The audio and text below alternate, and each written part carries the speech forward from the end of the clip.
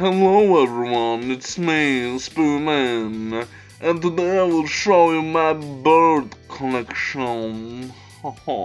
this is compatriot uh, Fancy Boy. This is Birdman of Aberdeen. Uh, the Red Army Robin, hmm, my favorite. Here's Ian. I don't know what what bird that is. Archimedes, the famous, of course. Sir Hootsalot, of course, he's also pretty good. And he's also another Archimedes, I don't know why. And he is somewhat quack. What? quackwatty duck journal is the duck. Whatever duck. Is that even a duck? That looks like a duck toy. Uh, a robot? I,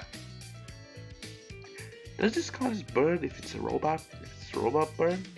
Uh, hmm. And we do. That's not a bird! That's not a bird! Who the fuck are you?